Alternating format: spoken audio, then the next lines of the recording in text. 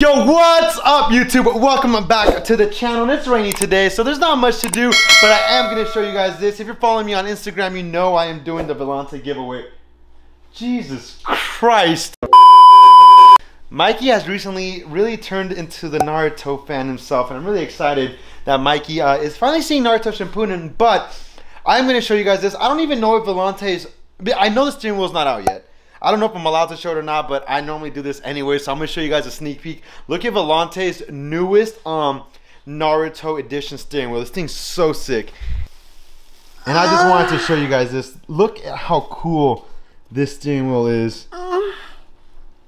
They have made a couple of different Naruto steering wheels. This is another one right here. This one's been out. Uh, we're gonna do some Whoa, cool bro, stuff with whoa, this. This is the to take it out and be like, Akatsuki. "Whoa. Oh, I think I think I'll- this one's all over TikTok and stuff. You're welcome. That one's pretty cool. That's the Akatsuki interior, but they recently made this one. Yeah, they're going to release this, I believe, next week, and it's uh the Itachi one. That's pretty cool. So to kill me, uh, you must hate me. That's pretty cool. You have the front, and then if you flip it around, background. yeah, you have you have the eyes in gray. That's pretty cool. What do you guys think? Thumbs up, a thumbs down on the steering wheel. Hey! Oh, there goes Mikey. Sorry, Volante steering wheel is gone. Sheesh! Since you guys are looking at all these cool Volante steering wheels, the giveaway ends this Friday. You guys are still at an advantage. You guys can still enter, but me and Volante are gonna collab now. Um, I met up with Volante today. We are gonna come out with my own special edition steering wheel. It's gonna be super custom. There's only gonna be probably like 200 units of these made. So I'm really excited to show you later down the line what we come up with. Now I got a little excited last night and I just started vlogging the Volante steering but today we're gonna actually working on the RSX. I really want to get this problem figure out that we're having with the RSX. So since the battery is completely drained on the RSX today, again, we're gonna take it out, we're gonna drop it off at O'Reilly's, have it recharge. We're gonna hit the gym because we gotta stay in shape. And then we're gonna take the RSX to Honda Pro. Hopefully they can figure out what the problem is and we don't break the budget build bank.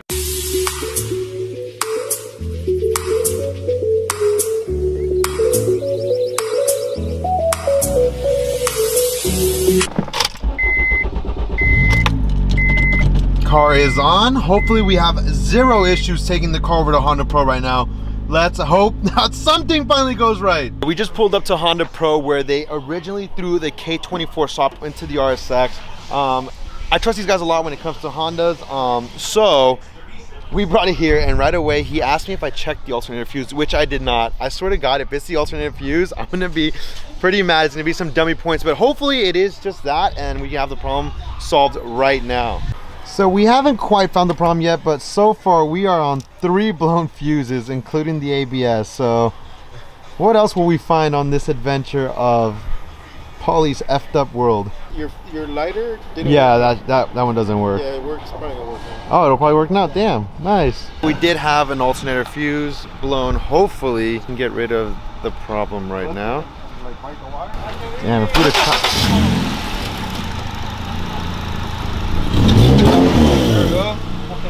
caught- Yeah, it's going bad, right? It's going bad. O'Reilly's AutoZone, I'm calling you guys out right now. I took it to a bunch of your stores and you guys all said it was good.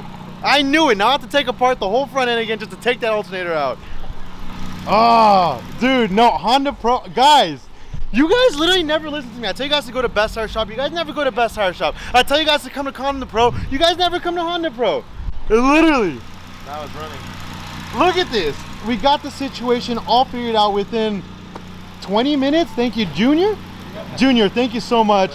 Yeah, bro, they just pulled together. So I know a lot of you guys were asking what it was um, because you guys didn't know what the codes were. Were so basically the crankshaft sensor code that it threw out, you just changed the crankshaft sensor. It said the ELD was bad, so I changed that, which was under here. Um, but the one thing I didn't do and I messed up, I didn't check for any fuses, and that's that was my fault. I was already pissed and annoyed that I couldn't get it figured out, but the fuses were blown.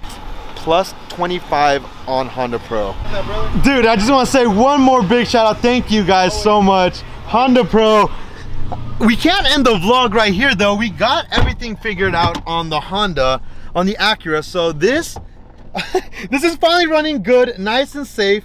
Um, so we have we have something installed today. We have something installed on the RSX today. I've been waiting, um, and I was gonna make it uh, for a different vlog, but Honda Pro killed it. We didn't hit any of the budget build money that we had, so we're, we're still good to go. We're on track for everything. So let's get home and install the new surprise part today. Before I show you guys these parts, I do want to shout out Junior from DC5 Society. He hooked us up with these parts for such an amazing price for the budget build. And let me just show you guys what we got. Bam! Look at these side skirts. And if you guys don't know, these are Mugen side skirts. They're so beautiful. They're so pretty. He had an extra pair and he was like, dude, I don't use them. Do you want them? I know that you are building a Mugen RSX and if I can help you build it, I'm willing to give you these at a super good price. So you actually gave them to me for 80 bucks, guys. That's fucking crazy. But if you guys didn't know or don't know what a Mugen RSX looks like, I'm gonna show you guys right now. Me, that doesn't look pretty, dude. That is literally my plan with the RSX. But let me give you a before shot of how the RSX looks. And now that you kind of saw the way it looks, let's install the side skirts and then we'll see how it looks afterwards. But I think it's gonna look really good, especially with the color and everything that I have in mind for the RSX. All right, the one thing I'm really praying on is that we don't have to do a lot of modification to these side skirts. They are fiberglass, so normally when you're installing fiberglass, there's like a lot of stuff you have to do to it, but I'm praying that there isn't. This is actually the first time I ever install like side skirts or anything, and they don't need like any kind of modification. These literally fit right up.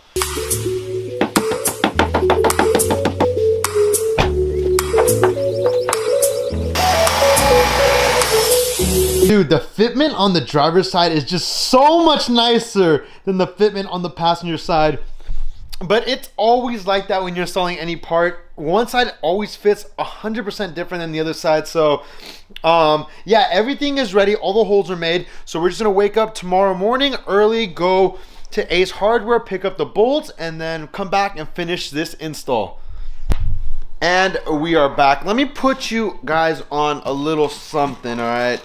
I don't know if a lot of people use these because I don't really see a lot of people use these, but I do, and they work really well. These are locking nuts. Um, and basically, let me see if I get this to focus. Basically, when you put these on your bolt, this little white rubber piece keeps everything locked down so they'll never fly off. I use these on literally all of my parts to make sure everything is nice and secured in there. So if I were you guys, whenever you're out buying bolts or whatever, get locking nuts to make sure your parts don't fly off either. And just like that, guys, we are done with today's install. Look at the way these side skirts look. I'm so in love with them. Stitch, what do you think? You're coming over here. I know you like to be in the vlogs. What do you think, man, huh? Do you like the new side skirts? What about you guys? What do you guys think? If you guys like the way these side skirts look, give this video a big thumbs up. My God, I am so in love with how this looks. Literally guys, we are two things away from being able to take this car to paint. All we need is the front lip, the rear lip, and this car is 100% ready for paint.